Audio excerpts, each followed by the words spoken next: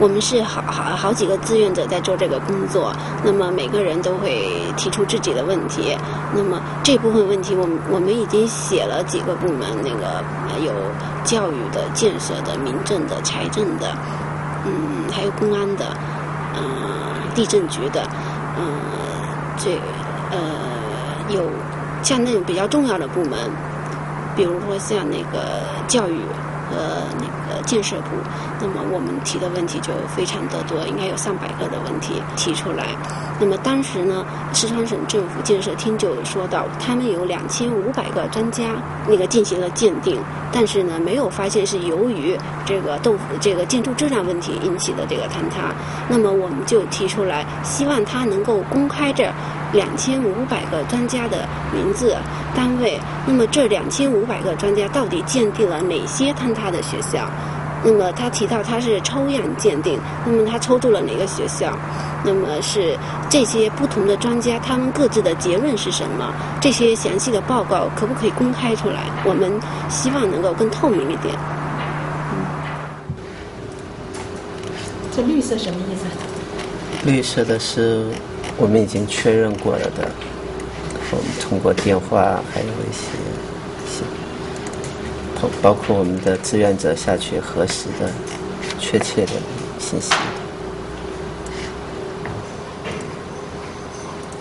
公布后有有没有什么反应？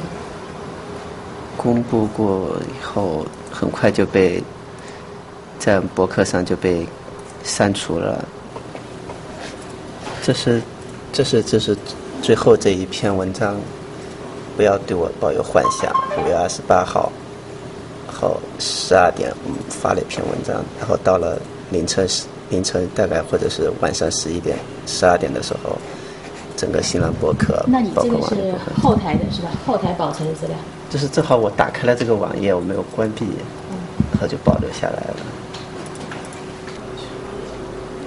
就是能够希望更多的人能够关注这些事情，关注我们身边发生了些什么。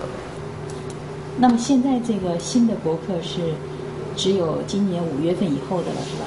对。哎你看，你看他给我删了多少文章？你看，隐藏是他们给我隐藏的。这个我新开的博客，新开的一个博客，原来给我删了。实际上他们怕金项说出来，在他们的眼中认为金项说出来了就会影响社会稳定。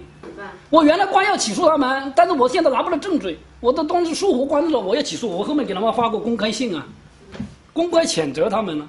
我以前的起诉过啊，他驳回我的诉讼。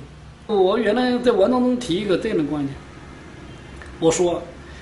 假使我都静静的，为什么一个事件出来了，我们去质疑、去批评有关部门，啊，你说我们是会被反华势力所利用？但我们你们有没有考虑过，那些部门在执法的过程中引发这样的事件的时候，他们当时为没有没有想过，哇，如果我执法不公，啊，或者。呃，我侵犯了群众的利益，或者导致了一个社会事件，我这样做的话，会不会被反华势力利用来攻击我们呢？如果你当时想到了，这个事件不会发生。那个改变是最大的，是从哪考？有关系。实际上，我们水电在在引起地质变化中间起的作用，这个是科学的定论，而不是推论。就是水电在诱发地震。梯级开发影响的后果，大自然最后给你算总账，谁来买单？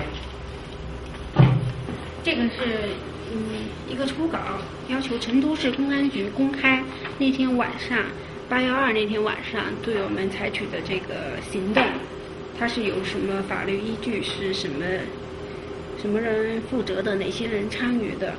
为什么打人？就这些信息公开，要求他。还有当时他们拍的这些录像，嗯，这个发出去了没？嗯，现在还在改，是一个初稿，准备给普律师看一下。嗯，他每年年会都会在九月份开，然后这次会议是在伊斯坦布尔开。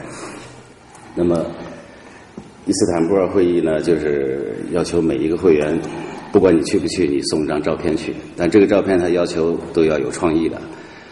呃，要要化妆，啊，你可以做各种各样的创意。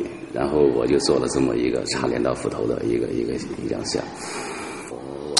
这个就是大家一定要把这个创造性的劳动用出来，这个是最有力量的。其他的旧的方式，旧的方式，我再看一下卡通那个。嗯。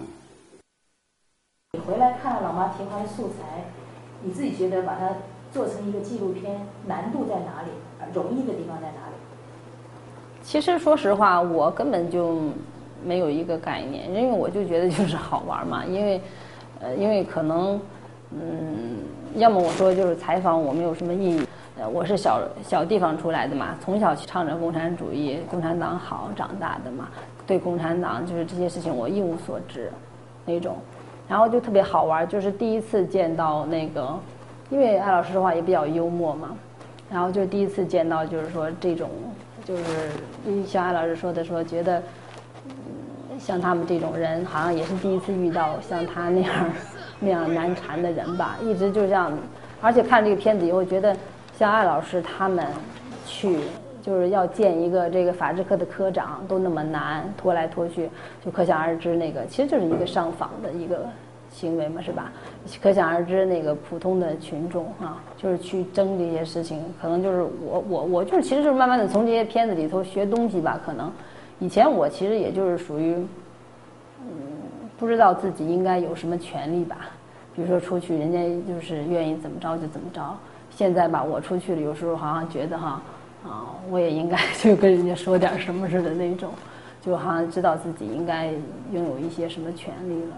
然后当时我觉得最最难剪的时候就是这个这个这个，呃，叫徐杰的这个人，他出来以后他说的那个话吧，就是我觉得艾老师跟那个蒲志强已经够精明了，他们已经都是在问那种点子上的事儿了，但是总能被他就是不知道怎么就给绕开了，就觉得他就一直在缠你，跟他说什么他都说我们就是走程序呀，按法律办事儿啊。就是就是一直在讲这些事情，反正他绕来绕去，我就觉得那段我特别思路一点都不清晰，我都不知道该怎么剪他的话，怎么剪才能把他这个就是说他要说个什么东西给弄出来，因为他总绕。当时我就舍不得删，因为就觉得那些对话特别特别好玩，人因为就是双方都怒了嘛，最后都就感觉有点儿就是像吵起来那种感觉，呃，但是因为片子的限制嘛，然后就是。因为我每做完一版，然后都给艾老师看，然后他就是说，限制片子的长度的话，把事情说清楚就行了嘛。当时我也觉得挺可惜，但是后来真正做到一个多小时，一个小时十八分钟吧的时候，就觉得确实看这版也已经很清楚了。反正赵瑞肯定要早晚要被公安给抓进去，在上海抓进去，没在北京抓进去。